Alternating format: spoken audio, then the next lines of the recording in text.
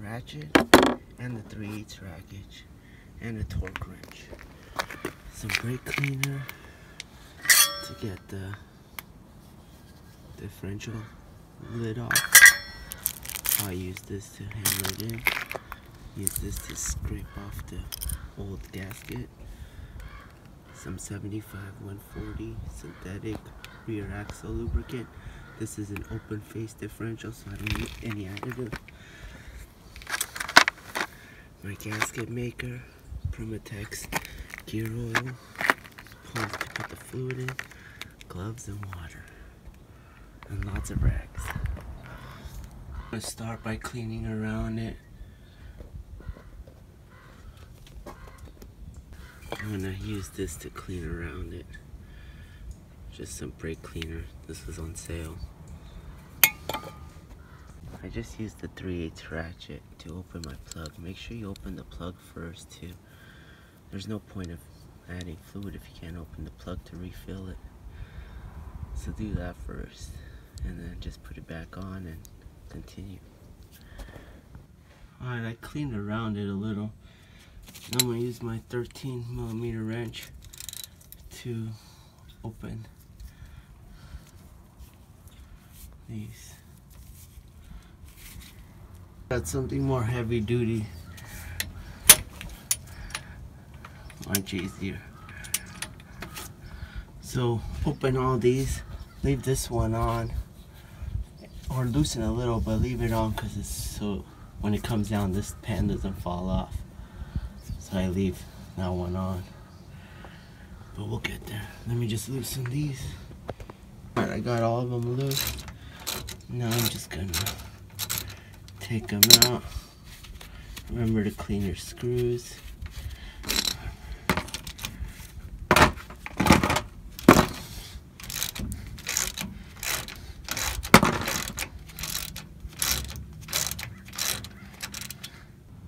This wire is gonna get in my way over here. So I'm gonna zip tie to this metal thing or hose. Okay, zip tied the hose out of the way. I got all my nuts except the top one off. Now I'm gonna use this to go straight as possible and just work my way around and then pry it open. Try to go straight so not to scratch it. Might need a hammer to hit the back of this or a mallet I'm gonna use.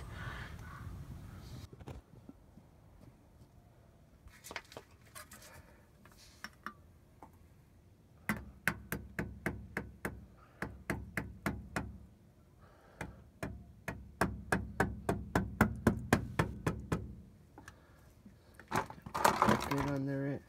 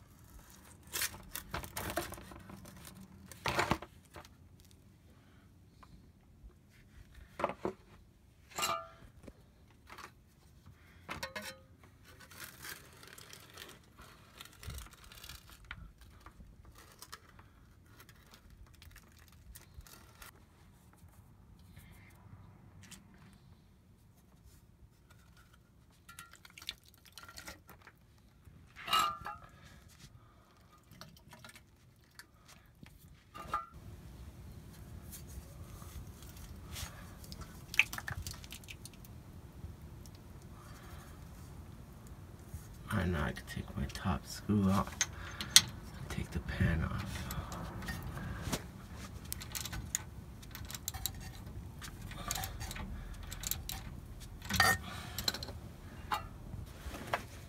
Now I'm just gonna let this drain out, get all the stuff inside to come out.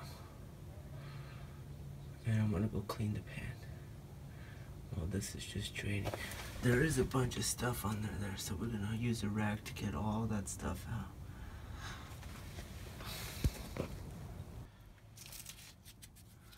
We gotta get all this off.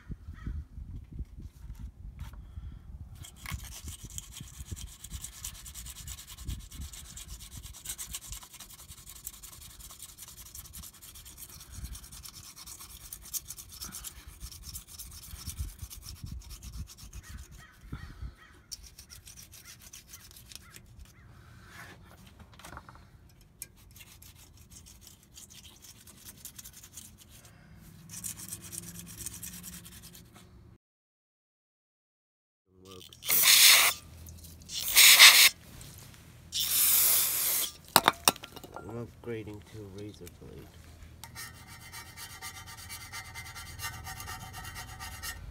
Just be careful over here. I got my pan clean. I went back to the plastic razor blade.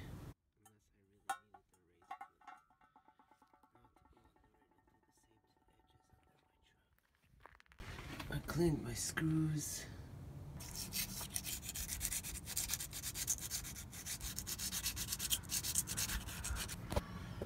I got this all cleaned.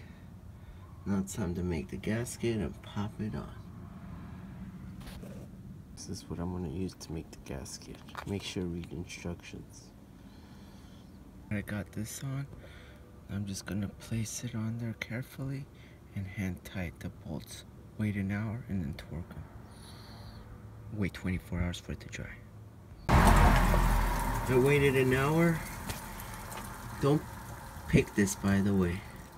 Now I'm going to torque them to 35 pounds. I'm going to go up here, then down here, and over here, and over here. Just switch it like a star. So there's the drain plug.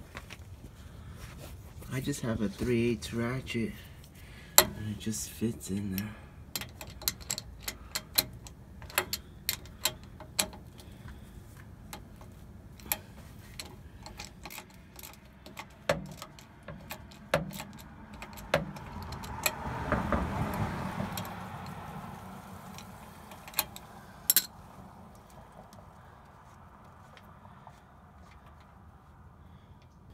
Cool, and that's what I'm gonna fill my oil. Got my 75 140 full synthetic. So there's my hose, my pump. Now I'm going for bottle number two. So I poked a hole on top of this one. I'm just gonna go to bottle number two. I don't want to spill. There might be a little left in there. And where's my hole? Poked a hole in this, and then I just brought this all the way down. And make sure my hose is good. Nice and they're pretty good. Now it's just pumping time. Pump for minutes. You'll be surprised how fast you could do this. And then there might be a little in there, but it got all of it out. Actually, it's good pump. I don't see any oil in there. Look at that.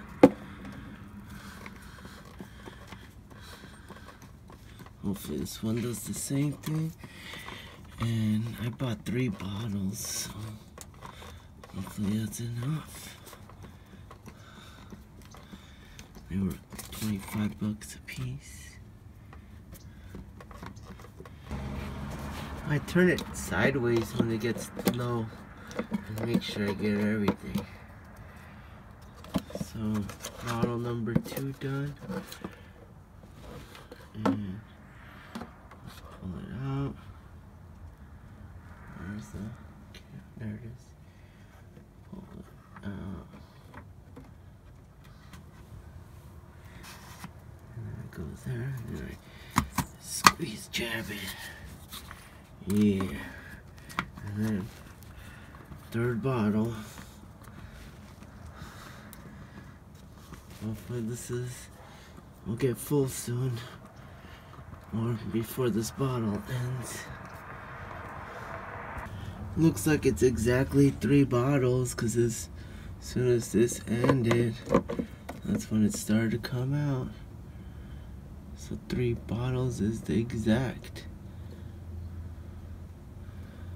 I put the cap back and we're done.